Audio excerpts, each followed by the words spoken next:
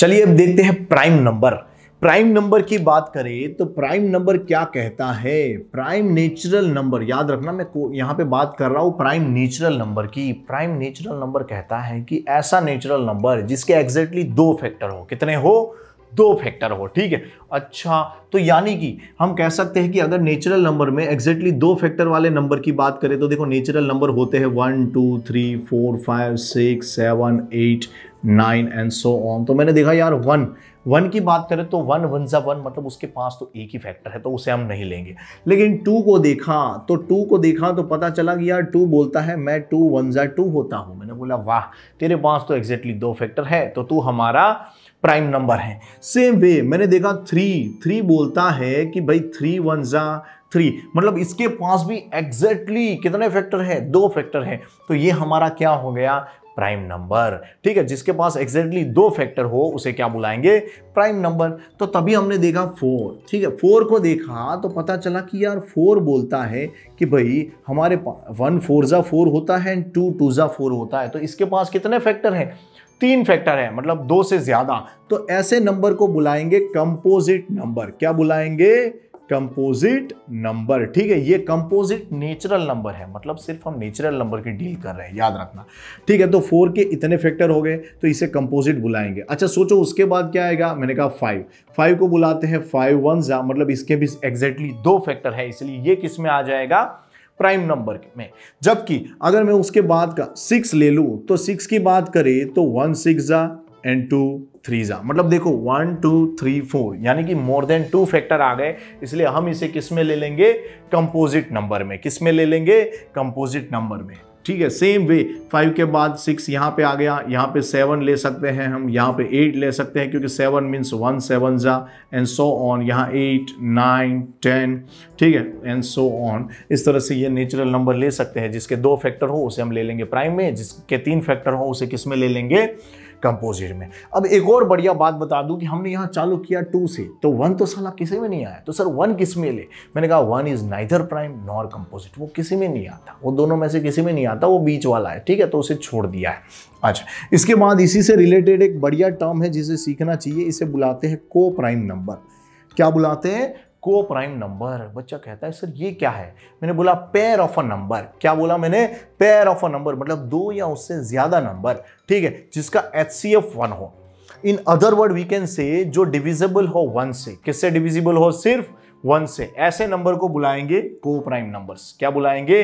को prime numbers for example मैंने लिया टू एंड थ्री ठीक है? मैंने क्या लिया? टू एंड थ्री तो मैंने देखा टू को एंड थ्री को एक वन ही है जो दोनों को कॉमनली डिवाइड कर सकता है, क्योंकि टू को टू से तो डिवाइड किया जा सकता है, लेकिन थ्री को टू से डिवाइड किया नहीं जा सकता। इसीलिए टू एंड थ्री दोनों किससे डिविजिबल है, सिर्फ़ वन से, सिर्फ़ वन से। इसीलिए इसे क्या बुलाएँगे? को प्राइम नंबर अच्छा बच्चे ने कहा, सर जी, अगर मैं फाइव एंड सेवन की पेयर ले लूँ फाइव एंड सेवन की पेयर ले लूँ तो? मैंने कहा, चलेगा। अगर आप फाइव एंड सेवन लो तो देखो फाइव एंड सेवन दोनों सिर्फ़ वन से डिविजिबल है। दोनों सिर्फ़ वन से डिविजिबल है, इसलिए इसे भी क्या कहेंगे? को प्राइम नंबर साथ में हम चाहे तो कोई और भी नंबर ले सकते हैं कि चलो उसी की जगह मुझे मन करता कि भाई सिक्स एंड सेवन ले लूँ। तो यहाँ देखो सिक्स एंड सेवन कैसे है? सिक्स कुछ कहेंगे, सर, ये तो टू से एंड थ्री से डिविजिबल है। मैंने कहा, यार सेवन नहीं है। ऐसा मत ले लेना। ये सिक्स एंड सेवन दोनों किससे डिविजिबल है? ये हमें देखना है और ऐसा एक ही नंबर है जो इन दोनों को डिवाइड कर सकता है। वो हमारा प्यारा वन वो है हमारा प्यारा वन तो ये दोनों भी सिर्फ़ वन से डिविजिबल है, इसलिए ये क्या हो गए? को प्राइम नंबर क्या हो गए? को प्राइम नंबर अच्छा तभी बच्चे ने कहा, सर, इसका यूज़ कहाँ है? को प्राइम नंबर हमने कहाँ देखे थे? मैंने बोला अपने पैर देखी होती थी, लेकिन अब तक आपने ऑब्ज़र्व नहीं किया। ठीक है, एक बढ़िया बात आपको बता दूँ कि जब भी, ठीक है, जब भी आपके पास फोर अपॉन सिक्स ऐसा नंबर आता था फोर अपॉन सिक्स। तो आप इसे क्या बुलाते थे? सर, ये है टू टू जा, ये है थ्री टू जा, ये लिखते थे आप टू अपॉन थ्री। तो ये क्या किया आपने? लोएस्ट टर्म में लिखा। क्या लिखा? लोएस्ट टर्म में लिखा, क्योंकि फ्रैक्शन का एक रूल है कि हमें उसे लोएस्ट टर्म में लिखना होता है, ठीक है? लोएस्ट टर्म में तो यहाँ देखा, हमने लोएस्ट टर्म में लिखा तो ये टू एंड थ्री मिले। टू एंड थ्री जो कि किससे डिविजिबल है? नाउ कटिंग पॉसिबल नहीं है, यानी वो सिर्फ़ वन से डिविजिबल है तो मैं कह सकता हूँ टू एंड थ्री कैसे है? को प्राइम नंबर है। कैसे है? को प्राइम नंबर है। इसी के साथ एक और बढ़िया चीज़ है सीखने जैसी डेसिमल नंबर क्या है? डेसिमल नंबर मतलब ऐसे नंबर जिसमें हमें पता है कि डॉट आता था। क्या आता था? डॉट आता था। मतलब फुल स्टॉप नहीं, ये डॉट रिप्रेजेंट करता है डेसिमल लाइक 2.5 ठीक है, ये नंबर हमने देखा है। सेम वे 0.3333 ये नंबर भी हमने देखे हैं। सेम वे एक और टाइप का नंबर आता है 0.10 एंड सो ऑन तो हमने क्या ऑब्ज़र्व किया? हमने ऑब्ज़र्व किया, ये तीनों डेसिमल नंबर तो है, लेकिन थोड़े अलग टाइप के हैं, थोड़े से अलग टाइप के हैं। ये यहाँ रुक चुका है स्टॉप हो चुका है। पॉइंट के बाद, एक डिजिट के बाद स्टॉप हो चुका है। ठीक है, अगर कोई नंबर स्टॉप हो जाए आफ्टर सर्टेन डिजिट तो उस ऐसे डेसिमल फॉर्म को बुलाते हैं टर्मिनेटिंग क्या बुलाते हैं? टर्मिनेटिंग जैसे, इसे मैंने टी से रिप्रेजेंट किया है, ठीक है? अच्छा यहाँ पे देखो कंटिन्यूसली ये जा रहा है और साथ में रिपीटेशन भी हो रहा है। देखो, ये कंटिन्यूसली नंबर जा रहा है तो इसे बुलाते हैं नॉन टर्मिनेटिंग क्या बुलाते हैं? नॉन टर्मिनेटिंग साथ में यहाँ पे मैंने देखा नंबर रिपीट भी हो रहा है तो इसे बुलाया मैंने रिपीटिंग एंड रिपीटिंग मतलब ये नंबर कैसा है? नॉन टर्मिनेटिंग एंड रिपीटिंग यानी कि रिकरिंग रीअकरिंग हो रहा है मतलब रिपीट हो रहा है। अच्छा सर, यहाँ पे कंटिन्यूसली जा रहा है तो ये भी नॉन टर्मिनेटिंग है। मैंने कहा हाँ आपकी बात तो सही है, लेकिन यहाँ पे रिपीट नहीं हो रहा है। यहाँ टेन था, यहाँ वन हंड्रेड एंड टेन है। टेन और वन हंड्रेड एंड टेन में बहुत बड़ा डिफरेंस है तो ये रिपीटिंग नहीं कहा जा सकता। इसलिए इसे मैं नॉन रिपीटिंग या नॉन रिकरिंग ऐसे वर्ड से डिनोट कर देता हूँ। देखो डेसी डेसिमल फॉर्म के बारे में हम आगे भी पढ़ने वाले हैं तो इसे अभी यहाँ रहने देते हैं और आगे के नेक्स्ट नंबर की ओर जाते हैं। ठीक है तो नेक्स्ट हमारा यहाँ पे बहुत ही प्यारा सा नंबर है, जिसके बारे में हमें सीखना चाहिए। वो टाइप है फ्रैक्शनल नंबर क्या है? फ्रैक्शनल नंबर अच्छा बच्चे सोचते सर, ये फ्रैक्शनल नंबर तो वही नंबर जिसे पी अपॉन क्यू फॉर्म में लिखा जाता है? मैंने कहा yes definitely the number which is in the form of P upon Q ऐसे नंबर को क्या बुला लेंगे हम? फ्रैक्शनल नंबर याद रखना, नीचे ज़ीरो अलाउड नहीं है। नीचे ज़ीरो अलाउड नहीं है। पी एन क्यू तो हम पता ही है, हम इंटीजर लेने वाले हैं, क्योंकि फ्रैक्शन एक्चुअली हम उसी को क्या बोलते हैं? नॉर्मली रेशनल नंबर ठीक है? उसी को हम रेशनल नंबर बोलते हैं। अच्छा sir ji P upon Q जहाँ पे P and Q integer and Q is not equal to zero यही फ्रैक्शनल नंबर मैंने कहा। हाँ अच्छा सर, हमें एक बात पता है कि नॉर्मली इसका यूज़ हम कहाँ करते थे? मैंने बोला, कहाँ करते थे? याद करो नॉर्मली आपको टू अपॉन थ्री वगैरह वगैरह या फ्रैक्शनल नंबर है, ये सब तो पता ही है, लेकिन कुछ अच्छी बातें बताओ।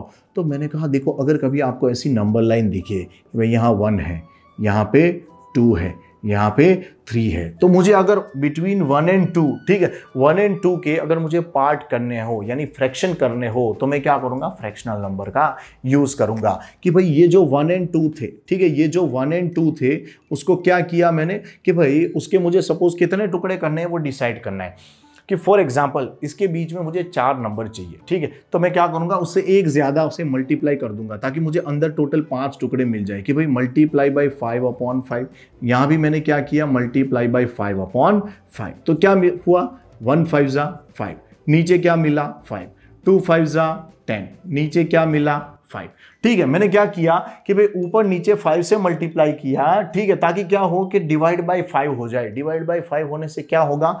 इन दोनों के बीच में नंबर्स क्या हो जाएँगे? फाइव पार्ट्स में डिवाइड हो जाएँगे। क्या हो जाएँगे? फाइव पार्ट्स में डिवाइड हो जाएँगे। अच्छा तो अब क्या होगा? मैंने बोला, देखो, ये वन को हमने क्या लिख दिया? फाइव अपॉन फाइव टू को क्या लिख दिया? टेन अपॉन फाइव तो अब ये बन चुका है हमारा फाइव अपॉन फाइव ठीक है, और ये बन चुका है हमारा टेन अपॉन फाइव सोचो, अगर मैं फाइव के बाद कोई नंबर को ढूंढूं, ठीक है, मैंने यहाँ इसके पाँच टुकड़े कर दिए हैं अंदर, ठीक है तो मैं कह सकता हूँ फाइव बाई फाइव के बाद नंबर कौन सा आएगा? सिक्स बाई फाइव उसके बाद सेवन बाई फाइव उसके बाद एट बाई फाइव और उसके बाद नाइन बाई फाइव ठीक है तो यहाँ मैंने ऑब्ज़र्व किया कि देखो यहाँ पे एक, दो, तीन, चार, पाँच, ऐसे पाँच टुकड़े तो किए मतलब इससे पाँच स्लॉट तो किए, लेकिन बीच में नंबर कितने आए? तो मैंने देखा कि इस वन और इस टू के बीच में मुझे एक, दो, तीन, चार चार ही नंबर मिले। अच्छा सर, हमने पाँच से मल्टीप्लाई किया और हमें चार ही नंबर मिले। यस यानी जितने नंबर चाहिए और ना, उससे एक ज़्यादा नंबर से मल्टीप्लाई करना। जितने नंबर चाहिए, उससे एक ज़्यादा से मल्टीप्लाई करना। हाँ या फिर अगर आपको पार्ट चाहिए तो आप क्या कर सकते हो? वही पार्ट से मतलब जितने पार्ट चाहिए, उतने से कर दो तो चलेगा। ठीक है? अच्छे से समझना क्या कहना चाहता हूँ? जितने नंबर चाहिए सपोज़ आपको कभी between one and two four number चाहिए। ठीक है तो आप क्या करोगे? फाइव से करोगे ऊपर नीचे। अच्छा सर डायरेक्टली हम कोई टेन या हंड्रेड ऐसे नंबर से कर दे तो मैंने बोला चलेगा। ठीक है? तो तभी बच्चे का सवाल था। सर आपने फाइव से मल्टीप्लाई किया तो आपको फोर मल्टी, फोर नंबर मिल गए। अगर हम हंड्रेड से करते तो हमें नाइन्टी नाइन नंबर मिल जाते, मैंने कहा डेफिनेटली सर, इस हिसाब से तो किसी भी दो नंबर के बीच में ऐसे पी अपॉन क्यू फॉर्म वाले, यानी कि ऐसे फ्रैक्शनल फ्रैक्शनल का मतलब मेरा है, कहने का है रेशनल सर जी, इसे रेशनल इन्फाइनाइट नंबर मिल सकते हैं। मैंने कहा यस तो हम कह सकते हैं कि there are infinite rational number between any two number there are infinite rational number between any two number ठीक है? तो ये बात याद रखना, हम कह सकते हैं same way there are infinite irrational number also between any two number. There are infinite irrational number between any two number. और वो भी कैसे ढूंढा जाता है मैं बताऊँगा। ठीक है? तो आप इस तरह से दो नंबर के बीच में जितने नंबर चाहिए वो ढूंढ सकते हो। अच्छा बच्चे ने कहा सर हमने यहाँ पाँच पार्ट किए तो हमें चार नंबर मिले। सोचो हमें कभी कुछ ज़्यादा नंबर चाहिए हो तो मैंने कहा, आसान है। चलिए सपोज़ मुझे टू एंड थ्री ठीक है टू एंड थ्री नंबर पसंद आ गया। ठीक है, मैं इतना पार्ट हटा रहा हूँ। अच्छा टू एंड थ्री के बीच में मुझे कोई नंबर चाहिए? तो मैंने कहा, देखो, आसान है। टू एंड थ्री को पकड़ा मैंने। ठीक है, और मुझे कितने नंबर चाहिए ये ढूंढना है। सपोज़ मुझे नाइन नंबर चाहिए उसके बीच में। कितने चाहिए? नाइन नंबर ठीक है? सपोज़ मैंने मान लिया थ्री यहाँ पे है टू एंड थ्री के बीच में मुझे नाइन नंबर चाहिए तो नाइन में प्लस वन कर दूँगा। देखो यहाँ फोर था तो यहाँ मैंने फाइव से मल्टीप्लाई किया था। सेम वे यहाँ पे नाइन नंबर चाहिए, इसलिए मैं किससे मल्टीप्लाई करूँगा? ऊपर नीचे टेन से। ऊपर नीचे टेन से। बच्चे ने कहा, सर टू टेन सा ट्वेंटी मैंने कहा, सही है. थ्री टेन सा थर्टी मैंने कहा, सही है. नीचे कौन है? टेन ध्यान से देखो twenty upon ten is actually two thirty upon ten is actually three मतलब एक्चुअली मैंने टू एंड थ्री ही लिखा है, बस उसे अलग तरीके से लिखा हुआ है। अच्छा सोचो ट्वेंटी अपॉन टेन और थर्टी अपॉन टेन यही है दोनों। उन दोनों के बीच में आपको नंबर यहाँ नहीं दिख रहे थे, लेकिन अब दिखेंगे। क्यों? हमें पता है ट्वेंटी के बाद आता है ट्वेंटी वन अपॉन टेन ठीक है, उसके बाद क्या आ जाता है? Twenty two upon ten and so on last में क्या आ जाएगा? ट्वेंटी नाइन अपॉन टेन क्योंकि ये है थर्टी अपॉन टेन ठीक है तो हम इस तरह से इसके बीच में नाइन नेशनल नंबर ढूंढ सकते हैं या फिर फ्रैक्शनल नंबर ढूंढ सकते हैं। ठीक है अच्छा बच्चे ने कहा, सर, ये तो ज़्यादा नंबर की बात आए तब। अच्छा सोचो, कभी हमें दो तीन नंबर ही चाहिए तो भी इतनी मेहनत करनी है। मैंने कहा, नहीं, ऐसा ज़रूरी नहीं आप ये पैटर्न भी यूज़ कर सकते हो। दूसरा तरीका भी है कि भाई आपने यहाँ पे क्या किया? वन लिया। फिर ठीक है, यहाँ पे टू लिया, यहाँ पे थ्री लिया, यहाँ पे फोर लिया। सपोज़ मुझे टू एंड थ्री के बीच में सिर्फ़ एक नंबर चाहिए तो मैं क्या करूँगा?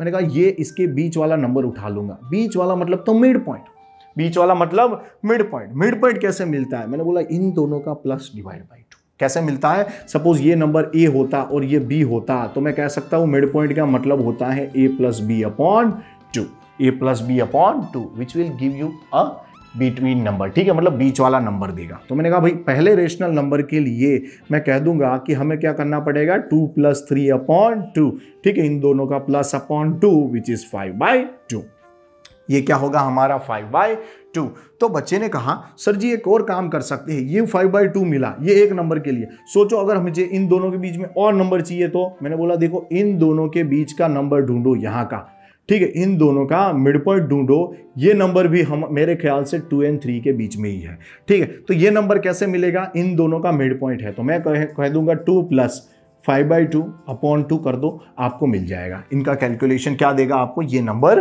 दे देगा। सेम वे, अगर मैं यहाँ कोशिश करता हूँ इन दोनों के बीच का नंबर ढूँढने की तो आराम से मैं कह सकता हूँ कि ये इन दोनों के बीच में भी आएगा। तो five by two and three का मिड पॉइंट यहाँ आता है, जो कि टू एंड थ्री का क्या है? इनके बीच का नंबर है और वो भी रेशनल है, क्योंकि पी अपॉन क्यू फॉर्म तो हमें दिख ही रहा है। तो मैं ऐसे लिख सकता हूँ कि भाई five by two plus three upon two करना है। याद रखना, दोनों नंबर का प्लस डिवाइड बाई टू तो करना ही है, तभी मुझे ये बीच वाला नंबर मिलेगा इन दोनों के। और ये इन दोनों के बीच वाला ये नंबर यहाँ जो भी मिलेगा, वो टू एंड थ्री के बीच में आता है। तो मैं कह सकता हूँ कि ये फ्रैक्शनल नंबर इन दोनों के बीच का ही है, या फिर ये रेशनल नंबर क्योंकि फ्रैक्शनल नंबर मतलब यहाँ हम रेशनल नंबर की ही बात कर रहे हैं। ठीक है, उसी का एक टाइप था तो मैंने आपको दिखा दिया। ठीक है थैंक यू